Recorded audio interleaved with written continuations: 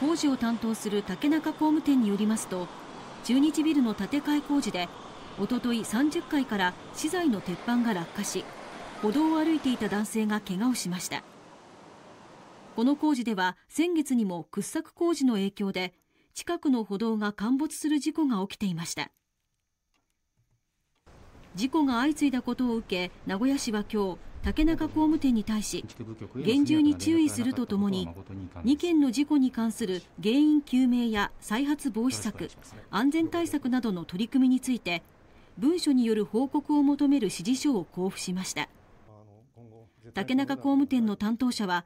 指導を仰ぎながら再発防止に努めていくなどと話しました。